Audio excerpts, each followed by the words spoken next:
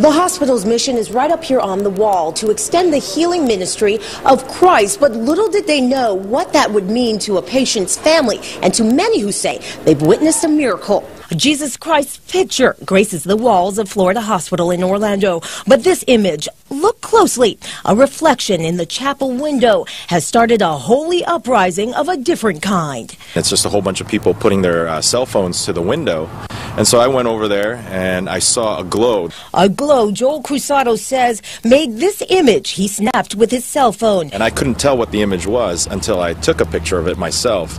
And then when it's scaled down on your cell phone, you really clearly see it. When you're standing there and everyone's, you know, and, and there's a, a, flurry of people talking about it, you're like, wow, I'm actually here. Cruzado here visiting his ex-wife with stage three cancer and also has a one-year-old daughter with a terminal illness. And now says after seeing this, he sees the light this was just a sign for me to not worry of what's going on in my life and that everything else is under control.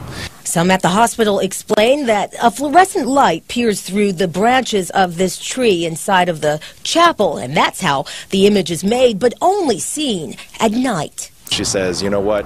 I feel at peace being here. Though only an image, Cruzado believes it's much more than that. It has a healing effect on his ex-wife. It's getting quite the buzz, but the hospital is just calling it an unexplained image. At this point, they're saying as long as it makes people feel good, that's all that matters.